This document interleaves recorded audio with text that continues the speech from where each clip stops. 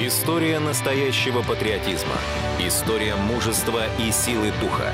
История, которую не забудут. Кино об одной из самых ожесточенных битв Великой Отечественной войны. Мы отстояли Севастополь. Наша победа – наш Крым. Море в огне. 18 марта в 22.00. Только на своем ТВ.